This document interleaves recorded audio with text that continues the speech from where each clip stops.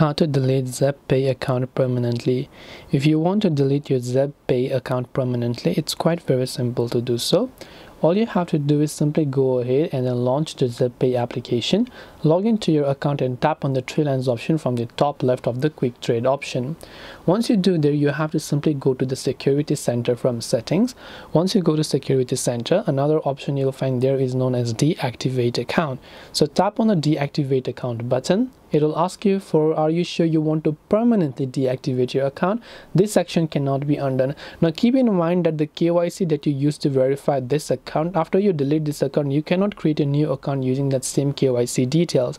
So that's the thing that you want to keep in mind. You can just try to reactivate this account but you can't create a new one using that same kyc so tap on the deactivate option just confirm the details as to why you want to deactivate and tap on deactivate and your account will be deactivated or deleted for good. So i hope that this video helped you. If you have got any more questions feel free to also leave them down in the comment section below. As always thank you very much for watching till the end of this tutorial and see you soon in our next video